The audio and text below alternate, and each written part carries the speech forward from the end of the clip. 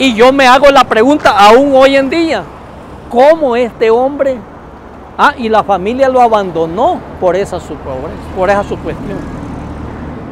¿Cómo hizo este hombre para ir a las aulas de la universidad? ¿Cómo hizo para ir en su silla de ruedas?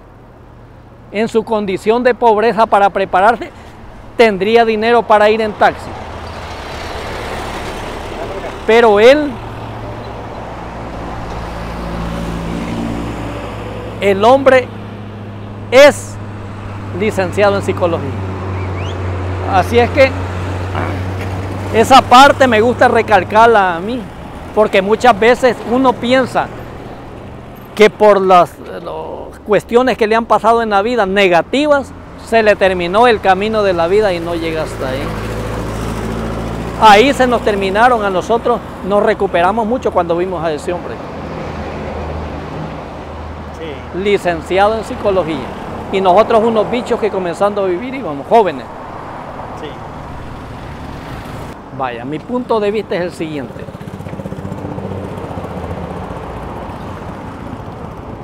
Como, como integrante prácticamente de una unidad militar y, y gente que fuimos instruidos en el área militar y cumplíamos órdenes enmarcados en la ley, nosotros prácticamente cumplimos con nuestra parte, nuestra misión. Yo considero que yo la cumplí.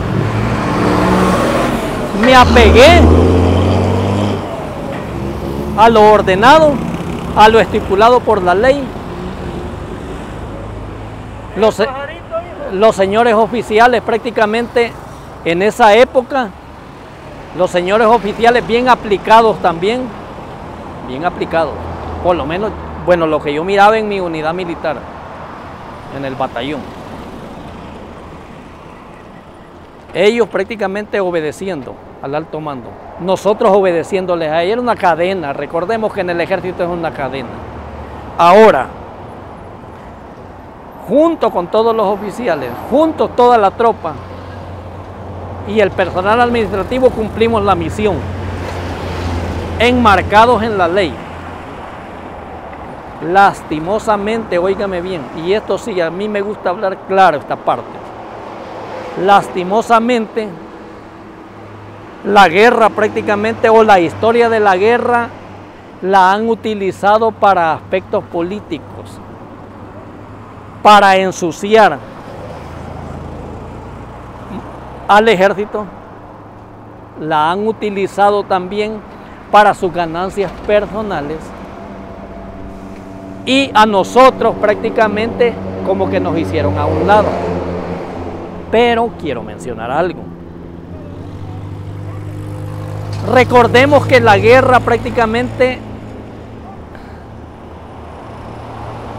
esta cuestión no es solo nosotros los que andábamos, no, nosotros éramos los operativos.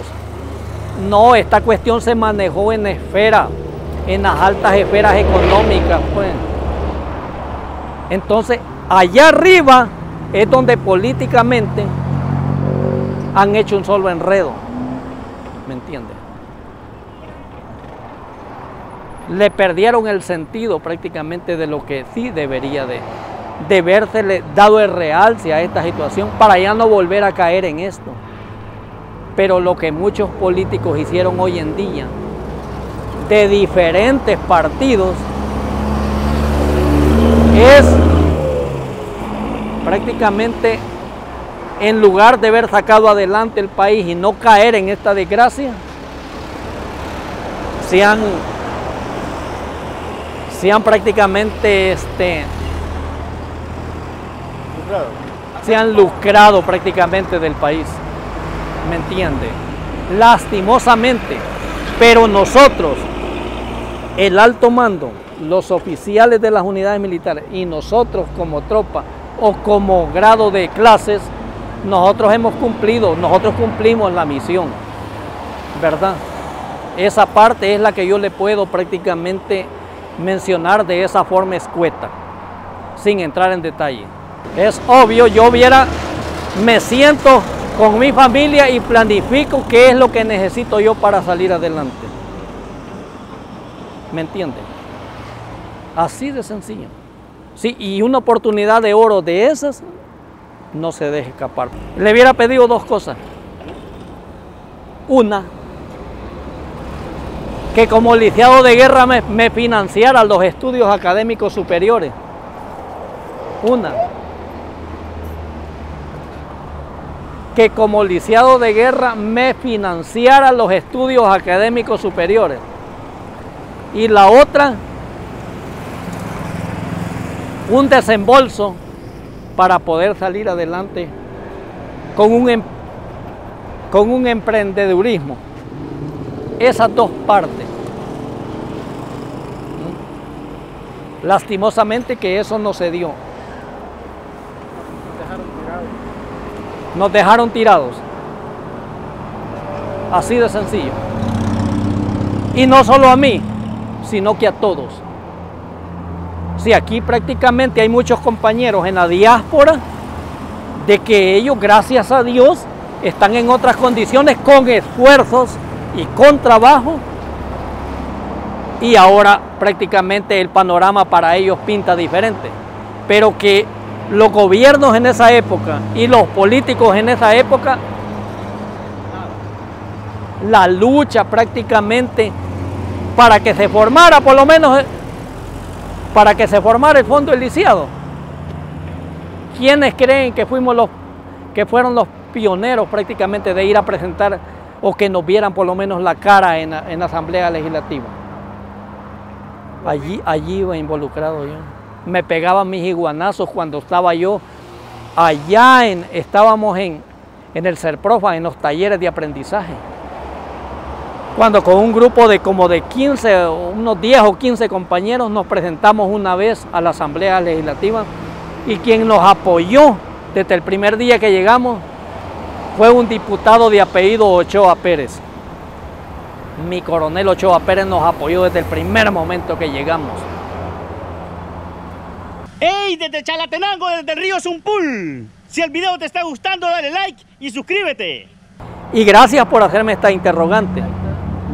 Gracias por hacerme internet. No, le digo de la acción prácticamente nuestra nada más. Un momentito. El momento. ¿Me entiende? No, yo no voy a meter mis manos al fuego por, por la vida del señor diputado Ochoa Pérez. No. me refiero a la vida política, pues. No. Me refiero a la acción que él tuvo. Eso. Yo con esto no le estoy dando un realce a toda su vida política. No. Le, le hablo de la acción que él hizo, de darnos entrada. Eso. Bueno, camaradas, en esta oportunidad, pues, el que desee prácticamente abordarme por la vía telefónica, el número de contacto telefónico es el 7014-8262 y el número de WhatsApp es el 7316-0246. Por cualquiera de los camaradas de los Tigres conocidos o no conocidos prácticamente y que tengamos afinidad con la conversación que hemos tenido, ahí está mi número de contacto. Bueno, en esta oportunidad este, quiero este, referirme más que todo eh, al tema que hemos estado tocando, al tema de la guerra. Para nosotros, la generación que ya tenemos 50, 57 años, quiero decirles de que pues no fue nada de atractivo, sino que nos preparamos verdaderamente para, para, eh, para el combate. Y en el combate prácticamente se dan un sinfín de cosas. Eh, luego la historia dice que han habido injusticias y que, que se hubiese hecho de una forma o de otra, pero para las nuevas generaciones quiero manifestarles una cosa. Primeramente, lo primero que tienen que, que confiar y darle su vida es a Dios. Luego, prepárense académicamente. Prepárense, ese es un punto valioso porque eh, le van a estar dando un mejor soporte a su familia y a la sociedad y por supuesto, y por supuesto al país, ¿verdad? Eh, la otra cuestión es, si algún día a ustedes como nueva generación se les presenta una oportunidad de ser un servidor público, les voy a dar un consejo, enmárquense directamente en la ley. Y como la misma palabra lo dice, servidor, sírvanle a la persona, sírvanle en el caso de, de un alcalde, sírvale a su municipio con honestidad, con sinceridad. En el caso de ser un, eh, diputado o un, prácticamente un funcionario de gobierno, igual en cualquier cartera de Estado que esté, sea honesto, sea amable, sea abierto con la gente, no sea un eh, prácticamente un servidor público de escritorio, salga al campo de trabajo, salga a que la gente lo conozca, a, a escuchar de primera mano las necesidades de la población. Entonces, este, claro que no se lo va a solucionar eh, uno por uno, sino que van a ser proyectos globales. Pero, sobre todo, prepárese académicamente, confíe en Dios, sea honesto con su familia y trate la manera de servirle a sus padres también.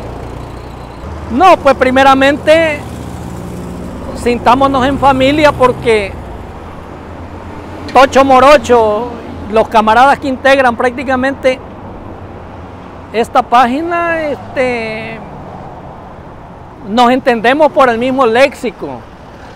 Esa es una, léxico militar, o sea, la forma de hablar y todo eso.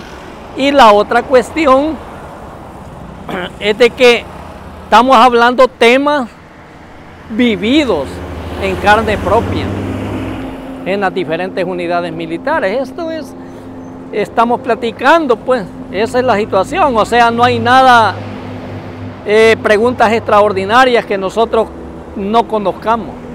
Esto, eh, no se preocupe por eso. Este, yo sé que los camaradas también eh, le van a hacer las preguntas de acuerdo también a su capacidad también. Este, hay camaradas que son preparados también académicamente. Aquí, después de la guerra, hay camaradas que son profesionales, que pues en diferentes áreas de la vida. Entonces, este, no se preocupe, que esta es una plática, es algo normal. Cuando el, la hora que le toque de entrevistar no se ponga nervioso, es que estamos platicando entre camaradas, ¿verdad? Y es lógico, pues vamos a omitir nombres eh, de camaradas, quizás, o de, más que todo de los mandos que hemos tenido. Y, y la otra cuestión es es no tratar de dañar prácticamente la imagen de, de los camaradas, pues prácticamente, o, del, o de los oficiales que han estado amando nuestros. Son cuestiones que ya pasaron, ¿verdad? Eso es. ¡Hey! Hemos finalizado una historia más. Les doy gracias a todos los amigos, camaradas del Tocho Morocho que están pendientes. También no se olviden visitar nuestra nueva, nuestro nuevo canal, Historias de Guerra. Historias de Guerra se trata de narraciones siempre de guerra, con la diferencia de que no va a salir el camarada hablando ahí. Son historias narradas que se han, este, eh, se, se ha hecho una producción. Las personas, este, tenemos nuestros narradores ahí que están narrando las historias. En este caso, pues este, estamos en la primera parte de la, la, la, la masacre de, de, de, Quebrada Seca. Eh, ahí estamos entonces, no se olviden también visitar el canal de eh, Rabanito. Ahí está el canal de Rabanito, Rabanito ya tiene su canal, no se olviden de visitarlo. Así es que estamos, mi brother. Gracias. Ahí estamos, camarada. Ahí estamos, bueno. saluditos.